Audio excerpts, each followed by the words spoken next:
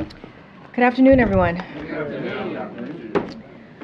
The Admiral is back in the briefing room to give you an update on what's happening in the Middle East and take some questions.